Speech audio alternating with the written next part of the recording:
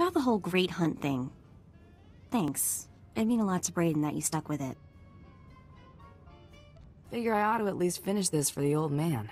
Thanks. I already said that, didn't I? Great Hunt was Braden's dream. Talked about it for years. Day he told me he'd found you. Should have seen him. Grinning and laughing so much, I thought his face would split in half. Laughing doesn't sound like something he did much of. Thought maybe he'd gone crazy. Winning this thing, it would have meant more to him than revenge. So I'm gonna skip saying thank you again because you get the idea already. Let's just get moving.